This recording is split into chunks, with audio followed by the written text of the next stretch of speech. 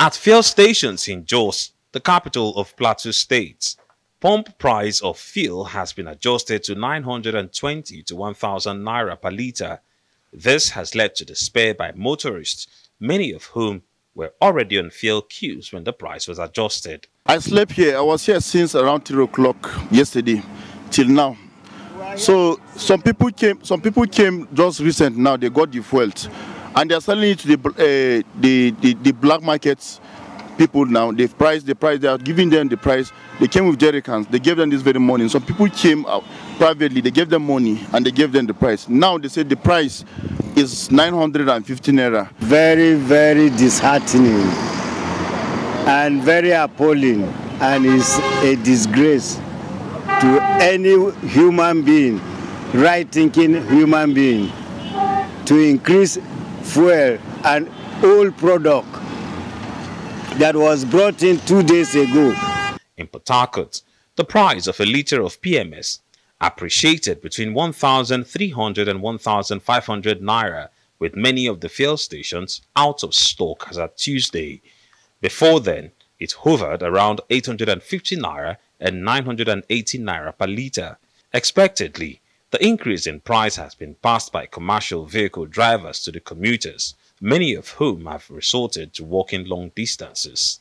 So we are begging, pleading to Nigerian government to come and help us because so that at least we that are using the the the, the, the keke to look for our daily living, well, at least at the end of the day we can go home with something. In the southeast, Fuel stations in Abia and Imo states are selling petrol between 950 naira and 999 naira per litre.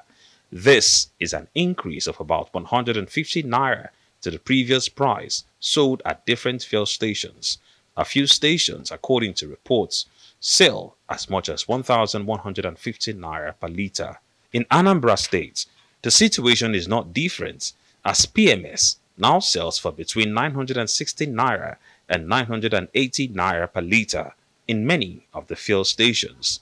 Arise News also gathered that most fuel stations are not dispensing the product, including the NNPC Limited outlet in Awka. Our product finished about uh, about three hours ago.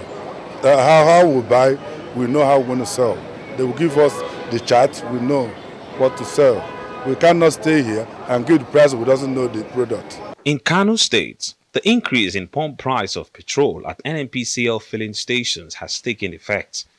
At the NNPCL station Hotoro, Nasarawa local government area, fuel is now officially sold at 904 naira per litre, while some independent marketers sell for 1000 naira. In the northeastern state of Borno, there are long queues at fuel stations. Here in Maiduguri, fuel is sold between 950 naira and 1,200 naira per litre. The sudden appearance of long queues at fuel stations is a consequence of the NNPCL's decision to increase pump prices.